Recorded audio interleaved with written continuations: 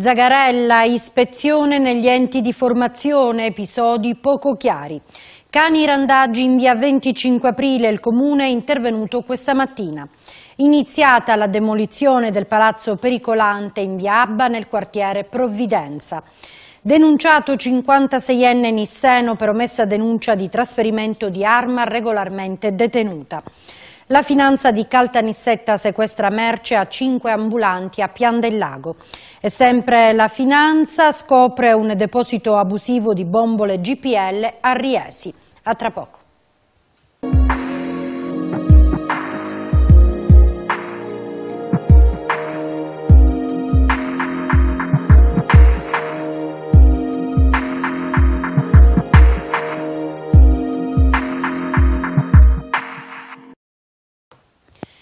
Benvenuti ad una nuova edizione di TCS News. Sentiamo l'intervista ad Alberto Zagarella, segretario Cobas, che chiede l'ispezione negli enti di formazione siciliani. Il perché? Alberto Zagarella, segretario provinciale Cobas Formazione, chiede un'ispezione negli enti di formazione siciliani. Perché cosa accade attualmente in questi enti? Sì, dici bene, eh, chiede un'ispezione. Allora, ad oggi mh, abbiamo una situazione paradossale, siamo proprio entrati nel, nell'assurdo, dove io vorrei ricordare che la parola sindacato o chi fa sindacato nasce per eh, essere di opposizione a quella che è qualsiasi scelta del datore lavoro. Oggi noi all'interno della formazione abbiamo il ridicolo, dove eh, i sindacati gestiscono enti di formazione e nessuno dice o fa nulla eh, lavoratori che si sostituiscono a quella che è la responsabilità dei datori di lavoro o chi praticamente negli anni ha fatto i propri imperi. Cioè in pratica il datore di lavoro fa diventare titolare un suo dipendente perché come avviene? Sì, certo eh, creando delle nomine fantascientifiche che sono surreali e facendo delle società, delle società, interne a quelli che sono gli enti di formazione. Un esempio, un qualsiasi dipendente dal scribacchino al tutor, eh, all'insegnante può diventare presidente o direttore di un ente di formazione, mettendosi, come si suol dire, il, il ferro dietro la porta. Ma la cosa più ridicola non è questa, la cosa più ridicola è che poi noi oggi assistiamo a dei datori di lavoro che denunciano la, la Regione Sicilia, l'assessorato o chiunque, tutto il sistema, per recuperare dei crediti che loro stessi dovrebbero già dare ai lavoratori. Questo grazie a cosa? Al fatto che non vi siano mai stati fatti dei controlli veri all'interno di tutti gli enti di formazione. Noi oggi abbiamo figure eh, tipo avvocati, professori, professionisti in genere che esercitano la propria professione all'interno degli enti di formazione, quindi da una parte abbiamo la forma lavoratore, quindi colui che vende crediti, dall'altra parte abbiamo lo stesso lavoratore che si autodifende eh, usufruendo della propria professione, Prima mi dicevi che il datore di lavoro fa diventare titolare un impiegato, eh, dopodiché lo stesso datore di lavoro fa anche l'avvertenza all'ex impiegato diventato titolare, si licenzi, fa licenziare e ottiene anche la disoccupazione. Sì, sì, l'hai detto bene, sintetica ma benissimo. La, il paradossale è questo, il paradossale è che alcuni lavoratori oltre a essere proprio al baratro, quindi alla rovina totale, perché capite bene, un lavoratore che non percepisce il proprio salario, ma non reddito da due o tre anni, significa un grosso deficit per sé e per la propria famiglia. Ma la cosa ridicola è il datore di lavoro trasformatosi in lavoratore chiede i danni, chiede gli stipendi, cioè non li dà ma li chiede. Ma perché il lavoratore accetta di diventare titolare, quindi di mettere anche delle garanzie? E eh, beh, qua sfondiamo una porta che penso che sia oramai aperta da tempo, ma nessuno denuncia. Il famoso ricatto, un ricatto vero e proprio perché o così o altrimenti entri tra i lavoratori scomodi, quindi il primo ad uscire dalla porta sarai tu. Ma tu come hai scoperto queste cose? Io, come tanti sapranno, eh, sto vivendo un periodo particolare dovuto a um, problematiche mie personali di salute, e questo è il perché non posso togliere il berretto in questo momento eh, succede che eh, avendo avuto da, da, poco il CUD eh, o avendo fatto gli accertamenti su me stesso vedo che ci sono delle difformità su tutto quello che è le garanzie del lavoratore, su tutto quello che è agenzia delle entrate, su tutto quello che è il sistema che ogni singolo lavoratore ha all'interno del proprio ente di formazione. Perché ricordiamo, è giusto ricordarlo, tu sei un dipendente pure della formazione professionale. Sì, se così si può chiamare uno che non percepisce stipendi, sì, io sono un dipendente, una volta si diceva che esisteva il ministro senza portafoglio, oggi la cosa più ridicola in Sicilia è il lavoratore senza stipendio ma tassato.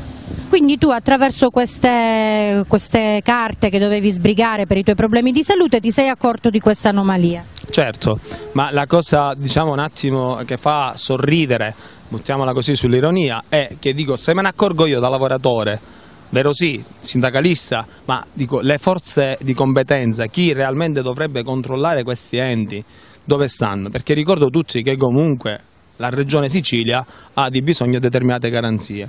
Noi su Caltanissetta abbiamo tutti gli organi di controllo che sono addetti a queste competenze, tipo le forze dell'ordine come polizia, carabinieri, guardia di finanza, ispettorato del lavoro, gli uffici provinciali del lavoro. Ho la netta sensazione, come si vuol dire, che tutti vediamo il treno che passa ma nessuno lo vuole prendere. Cani randaggi in via 25 aprile a Caltanissetta. Il comune è intervenuto questa mattina dopo le segnalazioni della scorsa settimana. Ci troviamo in via 25 aprile a Caltanissetta. La scorsa settimana abbiamo realizzato qui un SOS. Ci ha chiamato il signor Castellana che abita in questo palazzo a fianco. La moglie era stata aggredita da un branco di cani randaggi. Aveva riportato la frattura al dito e diverse ferite di denti alla gamba. Tutto refertato all'ospedale Sant'Elia di Caltanissetta. Qui i residenti lamentano la presenza del branco branco di cani randaggi, alcuni anziani sono stati pure aggrediti, eh, hanno paura soprattutto adesso con le belle giornate che arriveranno a scendere qui fuori a prendere aria la sera, hanno paura per i nipotini che giocano qua davanti. Il comune ha provveduto. Questa mattina eh, c'è l'H Cani, così come viene giustamente definito, è stata montata questa gabbia, all'interno della gabbia eh, c'è del cibo, della carne cruda messa in delle vaschette vaschette come potete notare dalle immagini, una corda attaccata mh, mm, a, al cancelletto che chiude la gabbia, l'altra parte della fune eh, ce l'ha in mano l'operaio dentro il furgoncino, appena i cani entrano a mangiare l'operaio chiude la gabbia, i cani vengono presi e portati al canile municipale, anche se però ci è stato fatto notare che è la terza volta che questi stessi cani vengono accalappiati e rimessi poi per strada, quindi non si sa se ci sarà la quarta volta.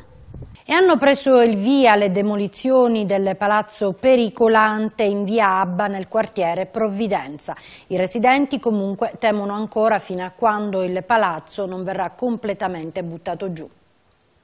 Ci troviamo nel quartiere Provvidenza Caltanissetta per l'esattezza in via Cesare Abba numero 11.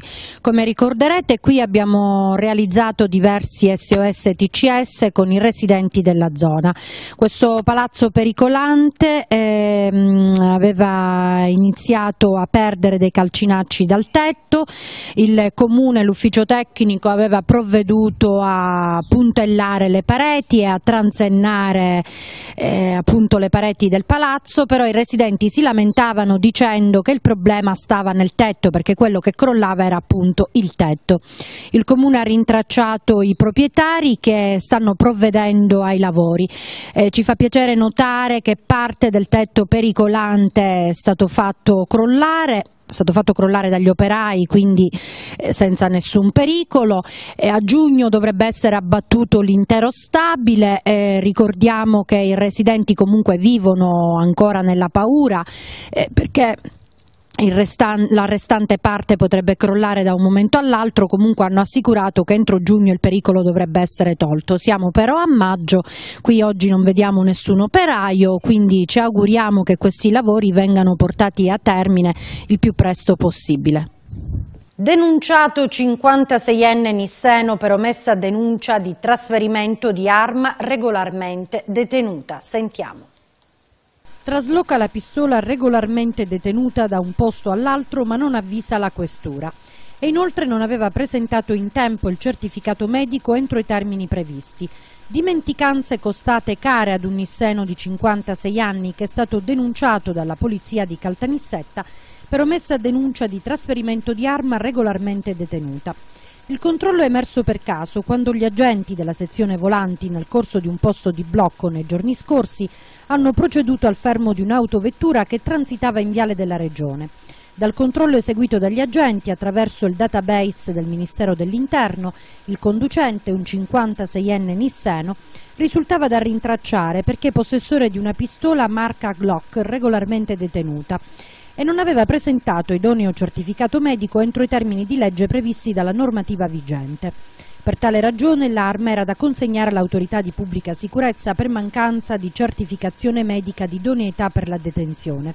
Da un ulteriore controllo emergeva che l'arma non era più custodita nel luogo originario di residenza dell'uomo, ma che da qualche mese era stata spostata presso un'altra abitazione e che dello spostamento non era stata avvisata la questura. Per questo motivo i poliziotti hanno sequestrato la pistola e denunciato l'uomo per il reato di omessa denuncia di trasferimento di arma regolarmente detenuta. La Questura informa che il 4 maggio 2015 è scaduto il termine per coloro i quali detengono armi per presentare il certificato medico di idoneità psicofisica alla detenzione all'ufficio armi della Questura di Caltanissetta.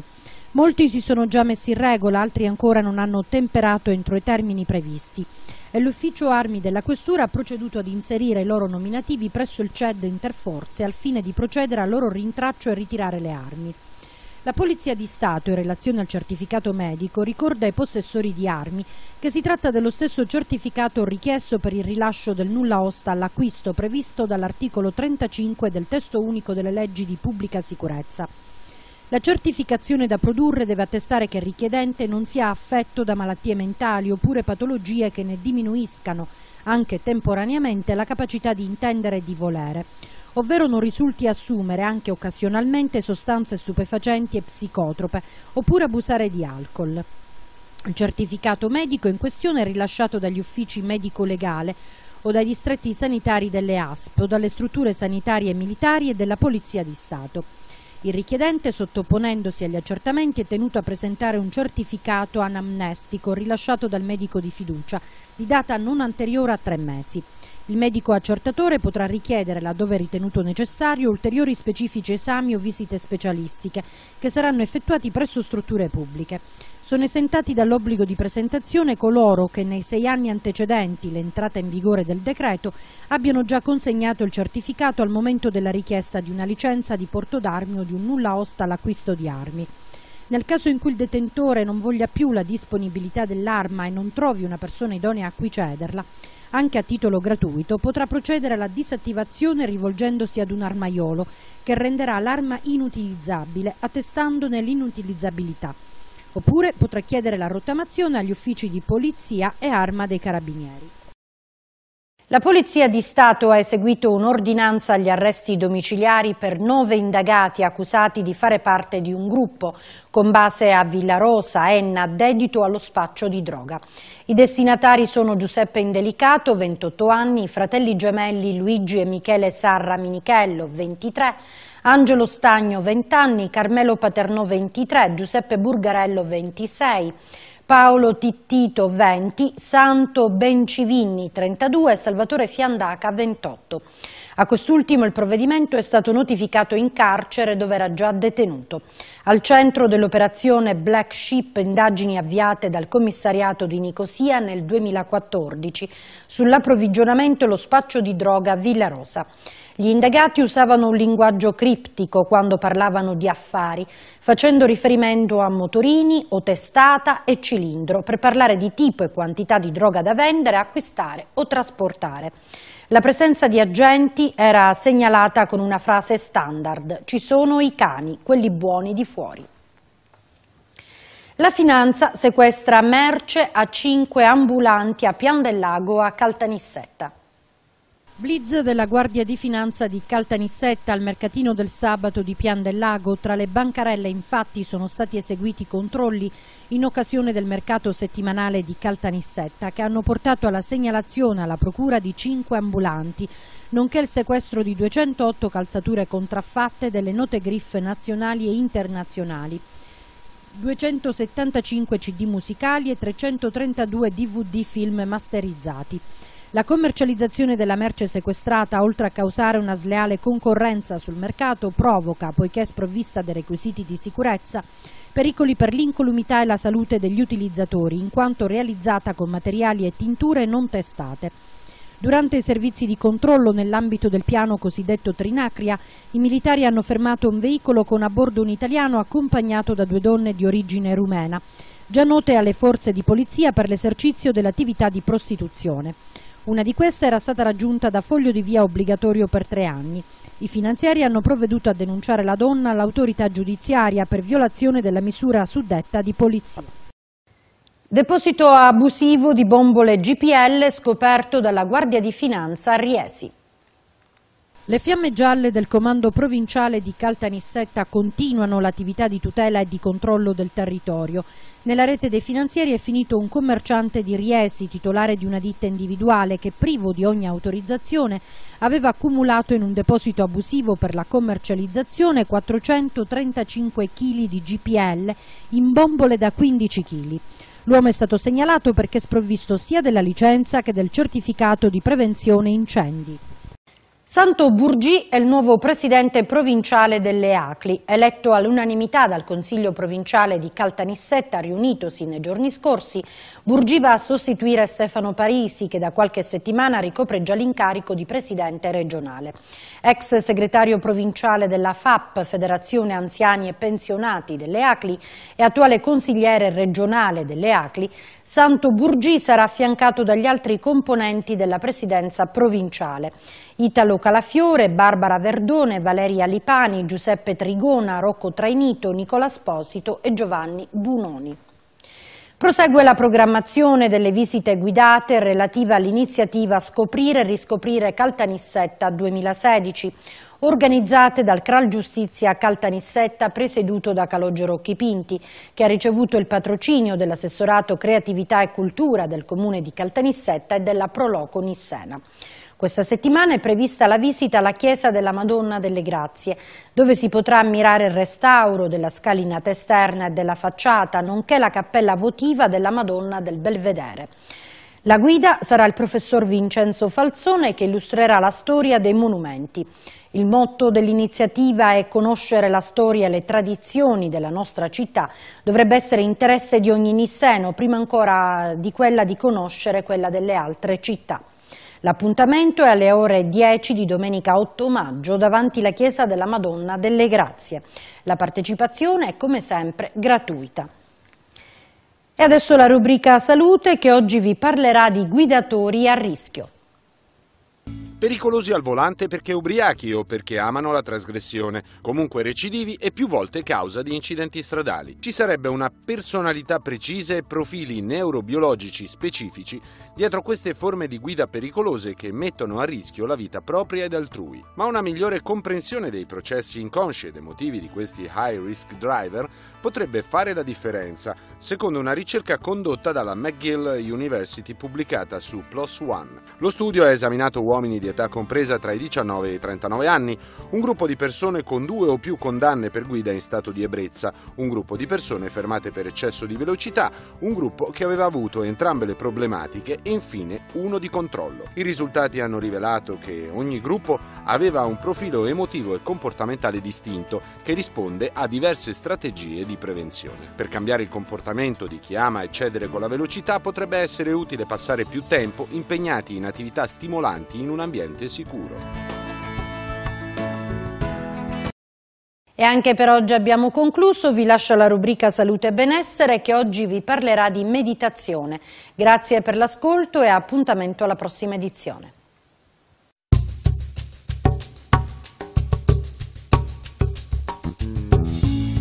La terapia basata sulla meditazione ispirata al buddismo e il concetto di consapevolezza funziona come un farmaco antidepressivo. Lo sostiene uno studio dell'Università di Oxford pubblicato sulla rivista JAMA Psychiatry. La terapia della consapevolezza consiste nell'allenare il cervello ad affrontare le emozioni negative usando tecniche come meditazione, esercizi respiratori e yoga. Anche se per alcuni questa tecnica può portare ad attacchi di panico, paranoia, delusioni e depressioni, secondo questo nuovo studio la terapia terapia cognitiva basata sulla consapevolezza aiuta le persone allo stesso modo degli antidepressivi. Nella ricerca si è visto che le persone depresse che erano state trattate con questa terapia avevano il 31% di rischio in meno di avere una ricaduta nei quattro mesi successivi. La meditazione non è una panacea, ma offre un nuovo approccio alle persone con una lunga storia di depressione che consente di sviluppare degli strumenti per stare bene nel lungo periodo. Ogni persona è diversa e richiede terapie differenti, continua, e la meditazione è un'opzione insieme ai farmaci e ad altre forme di terapia.